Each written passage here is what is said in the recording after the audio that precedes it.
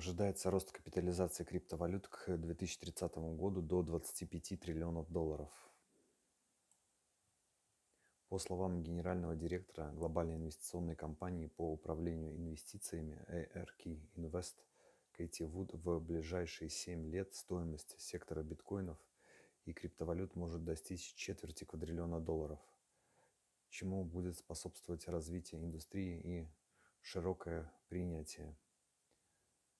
Комментируя спотовые заявки на биржевые торгуемые биткоин-фонды, Вуд сказала, что по ее ожиданиям к 2030 году их стоимость составит 25 триллионов долларов.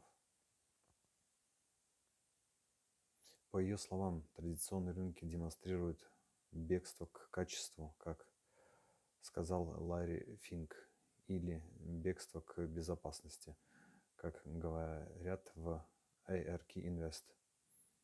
Это происходит потому, что биткоин не таит риска контрагента. Посмотрите, что произошло во время регионального банковского кризиса. Биткоин вырос с 19 тысяч долларов почти до 30 тысяч долларов, поскольку KRI, индекс региональных банков, рухнул. Если вы посмотрите на фондовый индекс банка сегодня, он снова опустился до уровня, который был в марте.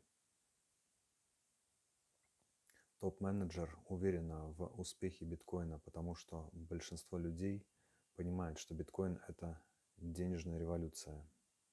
Это первая за всю историю глобальная, частная, цифровая и основанная на правилах денежная система. В настоящее время цена биткоина равняется 36 200 долларам, отражая снижение на 1,7% за последние 24 часа, но сохраняя недельный прирост в размере 4,1%. Что касается рыночной капитализации криптоиндустрии, то на текущий момент она достигла 1 триллиона 390 миллиардов долларов, продемонстрировав небольшое снижение на 1,5% за день, но все же прибавив более 30% за последний месяц и целых 65,5% за последний год.